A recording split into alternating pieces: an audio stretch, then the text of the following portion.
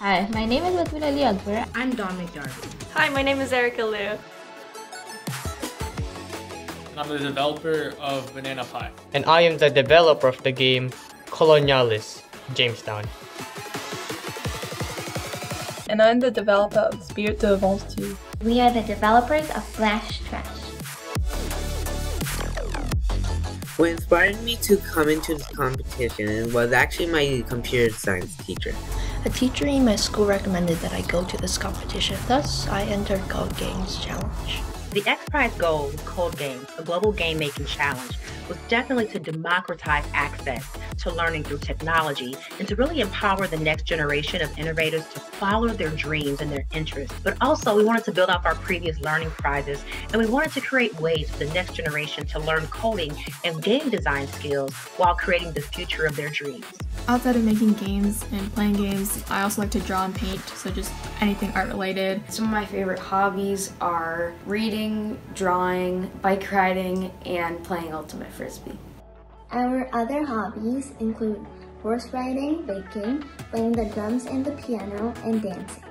I've been writing for a long time, even before I really started actually playing video games. Outside of games and game making, I enjoy making beats and I have the equipment to do so in my spare time. I was so impressed that such a great number of students from not just um, one country, but so many countries were represented in this challenge. We set out to have the competition be international from the very beginning as it was conceived, and we were very excited to see that we were successful in that regard. We had entrants from over 70 different countries around the world. I'm from Dunedin, New Zealand. I'm from Karachi, Pakistan. I live in Jamaica. And I live in Amor, Canada. I think it is amazing that gaming can be a language that people can speak and can get to know each other over and it doesn't require you know being able to do something super well.